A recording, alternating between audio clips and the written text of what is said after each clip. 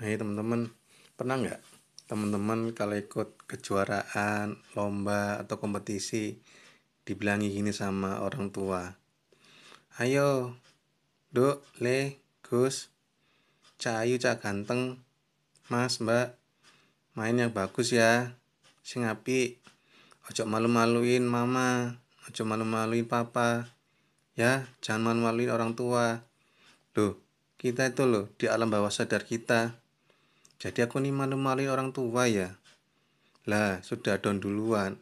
Itu belum main. Nanti kalau sudah main, terus kalah. Betapa jiwa kita nih terpukul. Sudah di awal sudah ngomong, jangan malu-maluin. Jadi kalau kita kalah itu malu-maluin banget. Pol. Memalukan nama keluarga. Merendahkan nama keluarga. Tanpa tahu ikut merasakan perjuangan di lomba, kompetisi. Pokoknya orang tua bilang, jangan malu-maluin masa bodoh dengan apa ya perjuangan kita. Boya semangatnya tuh kan gitu. Boya ngomong, ayo mas, mbak, cahayu, cang ganteng, main yang bagus ya, yang sportif, yang semangat. Nanti tawakal, berserah diri kepada Tuhan hasilnya ya boleh nangis tapi jangan terlalu bersedih hati. Siapa tahu itu hanya apa kekalahan adalah kemenangan yang tertunda. Siapa tahu bukan hari ini kemenanganmu tapi di hari esok. Kan gitu. Belum belum ngomong. Ingat lo ya jangan malu-malu orang tua. Jangan maluin mama jangan maluin papa.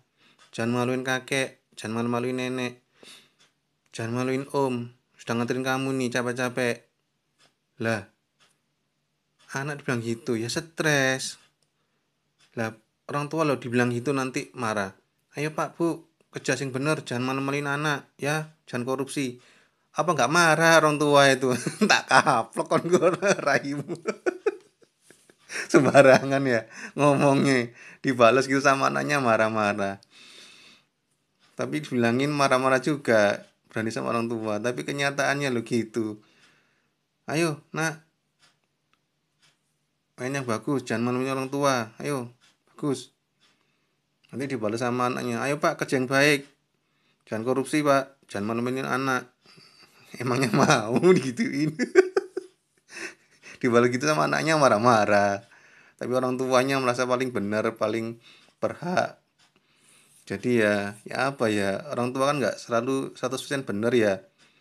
Tapi kok dibilangin gitu kok marah ya? Padahal kebenaran kan nggak harus melihat status usia jenis golongan terus orang tua. Salah ya salah benar ya benar. Aduh kasih semangat tuh ya jangan gitu. Ayo mas mbak semangat.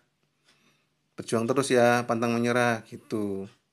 Sisi jangan jangan malu-maluin ya jangan maluin mama jangan maluin papa. Jangan maluin kakek. Jangan maluin nenek. Dibales mau. Mah kerja yang baik ya. Jangan korupsi. Jangan malu-maluin ya. Itu nggak perasaan nih orang tua nggak oh tak kaplok aja anakku. Dibalas gitu ngamuk. Makanya kalau ngomong itu yang bener. Apa yang kamu tanam itu yang kamu tuai. Nah itu karmamu. Aduh orang tua zaman sekarang gimana sih didik anak? Buat anak kok coba-coba